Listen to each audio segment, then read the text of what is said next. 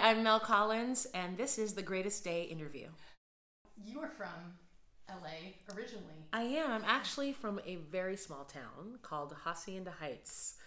Uh, and my parents are still there, but uh, I grew up there, and uh, I would travel to LA at least once a week because um, just up front, I'm a PK kid. So my dad was a minister and then a pastor, but that was in Los Angeles. So I would go down to South Central Los Angeles at least once a week.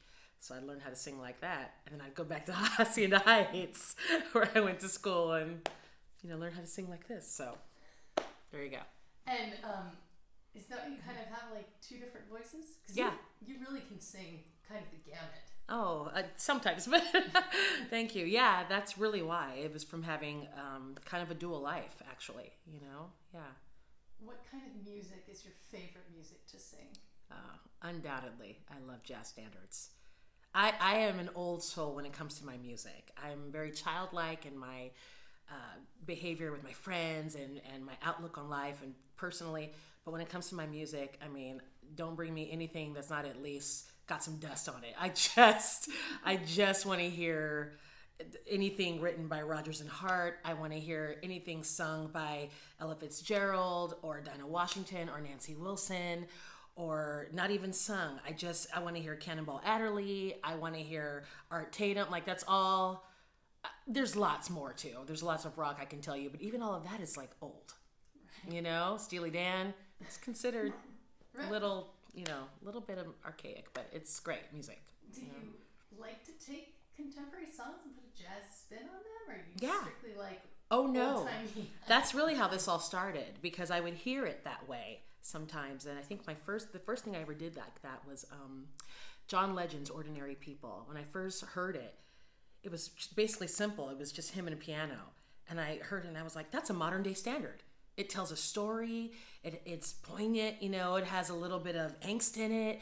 It's the chords are beautiful. You know, you hear the elements of jazz in it, and I, t- I took that and I was like, okay, we're gonna fully go all the way and made it with like a little big band tune and uh, that was the first time i tried it. And now i just recently actually here in the studio worked on uh, Sinead o'connor's by way of prince nothing compares to you. And we did a big band arrangement of that. Swing big band arrangement. Can I hear a little? right now? You want me to sing it? Okay well you have to pretend you hear all the drums and the horns and all that Sure. but uh, it's been seven hours and 15 days, but da da since you took your love away. Okay, that's it. um, you are such a great actress. I know that also. Um, do you approach songs from a musical background or from an acting background also? Oh. Or do you meld the two? Absolutely. Which is funny enough. Well, first of all, it's going to be difficult with the compliments. Thank you, but I, I do not take them well. So this is a great exercise for me. Um, the I used to do that first, just acting. I didn't really sing because where I come from, I'm fourth alto from the left. Like there are voices at the church choir that you will the world will never hear that are amazing. So I didn't even start really singing solos or by myself until I was in really until I was in college. A couple times in high school plays and stuff like that. But really it was in college where I started going the route of singing because I loved acting. I loved it. And so I fell in love with musical theater for that reason. It was I could combine my two loves. So, and that's really why I love jazz standards because they tell such great stories.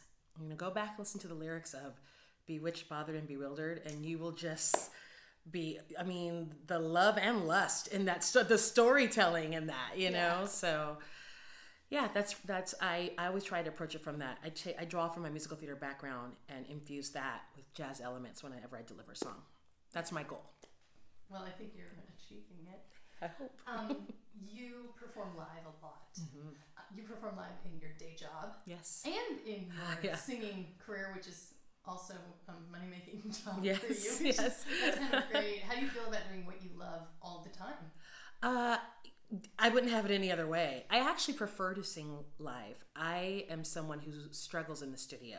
I it's difficult for me to hear your imperfections back to you. You know, you're recording it and you have to listen to it and you got to and the sound of your voice and and all of that. Uh, I don't particularly care for the sound of my voice. I'm glad other people do, so I can actually pay my bills. But uh, I I enjoy singing live, and I love the music, and it's that moment where I get to um, kind of step out of the of the the humdrum or the the grind of every day. You kind of step out of that when you get to sing live, when you get to perform. You're still you, but you're in a whole new venue, in a whole so you can allow yourself to be in a different headspace, and it's very therapeutic and it's fun. you know, it's really fun. Um, You also work at Disney. I do. Can you talk about singing there? Oh yes, I've been singing there for a very long time. Uh, let's see, am I going to be honest about how old I am? So feel free to edit this.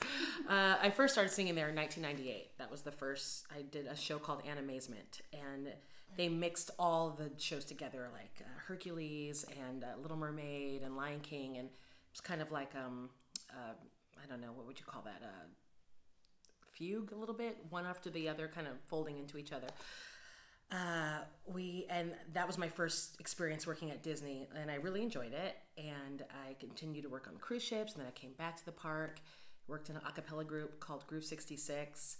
Uh, did that for about three years and made some lifelong friends in that. Um, actually, uh, my godchildren are from someone in that group. So, uh, and now I work at um, Five and Dime. It's been several shows in between there, but let's skip to the end. Right. I'm a, I'm in Five and Dime, which is a show on takes place like uh, between the era of like 1930s, 40s, uh, early 40s, late uh, 20s to 30s, uh, with five jazz musicians and a singer, a vocalist. And uh, that's been really fun because you have a trumpet, you have a sax, you have a drummer, upright bass. Uh, who am I forgetting? Oh, and guitarist. and then, you know, me. I, I've been listening to your jazz album, Oh, uh, and can you tell me about uh, a little bit about that? Yes. that's so exciting. Oh my gosh, that was it was incredible to make. As much as I uh, don't care for the studio recording process, when it's finished and you have something that is forever in your hands of what you know you want to deliver or give to the world, like that is I honestly feel like everyone should do it. You should make an album. Do you sing it all? Who cares if you don't sing? Like make an album. I honestly believe that because you have something that is so final that is allows you to um, wrap something up and and give it and and just let it go, release it. And it's it's a surreal experience. It was several several days. It took us about six months. Um, we had several musicians because we had big band and small group. Um, we my actually the I made that album with Dwayne Benjamin, who often music directs my shows, and so he's doing his own instrumentalist album uh, coming up very soon, and so I'm doing three songs on that. But it's really it's mostly instrumentals, and it's his album that's coming up soon. But we made my first album together about four or five years ago. I think it was about gosh, it goes so fast, and I had a CD release party for it, and to have everyone who knows you in one room supporting your art and the music you've made is like incredible. Everyone should experience that. So, a couple things. Um, you have to drink a lot of water, which is a drag, but you do. Uh, and then I occasionally steam. I don't steam as often because here's the thing that they don't tell you a lot about with with singers every voice is different and there's no one thing that's going to work for everybody right so i can't steam a lot because i have mold allergies and a lot of the steam things have tiny little bits of mold which don't affect most people but affect me and i found that out the hard way breathing into an apparatus. But um, i steam a little bit. Uh, i warm up in the mornings. I use i see a vocal coach carol tingle. I recommend her. She's amazing. She's in santa monica. And uh, I study with her, and then I use her. I was gonna say tape. You know how old I am, but I play it back on my phone and warm up before I sing every day with that. Those are my number one steady things, and then maybe suck on a zinc lozenge every now and then. Uh, if you could only sing one song for the rest of your life, oh my God! Don't do it. Don't Yeah, ask me that, yeah, Nicole. Don't do really. it. oh my gosh! One song for the rest of my life. You could sing any version of Oh it. Oh my gosh. Okay. It's probably I can't give you anything but love. Oh, I love that song. Because it can you can make that a ballad. It can be heartbreaking. You can of course do the way everyone's familiar with you know the upswing. Um, you can play all around it. You can scat on it. You can make fun voices on it. You can it talks it's what i think as corny as it is truly what matters in life and what makes the world go around which is not stuff but love Now, I don't know that everyone knows that song, so well they do now I'm gonna, I'm gonna ask you Oh, come on. All right. I can't give you anything but love, baby. That's the only thing I've plenty of, baby. Dream a while, scheme a while, you're sure to find happiness, and I guess. Oh I hope you're looking swell. Baby, diamond bracelets Woolworths doesn't sell. No, no, no, baby, till that lucky day. You know darn well, baby, can't give you anything but la la la la la la la la la. I stole that last part from Ella. What is uh, the one style of music that your fans would be shocked that you love? um, I don't know if there's one. Uh, hard rock. I mean, but cla- I shouldn't say hard rock. Classic rock. I love classic rock. I love to sc- scream in the car to that. Um, I love 80s music. I mean, new wave. I love it. I love the Cocteau Twins. I don't know if any of you guys remember. Yeah, just yeah, it's let's just say it's alternative. they might be surprised that I love that. Um, and how do you think that you could enact change with your music? oh, I think this is so important. Um, well, actually, I actually I was fortunate enough to be involved in doing the backgrounds on this new album for Dwayne Benjamin that's coming out.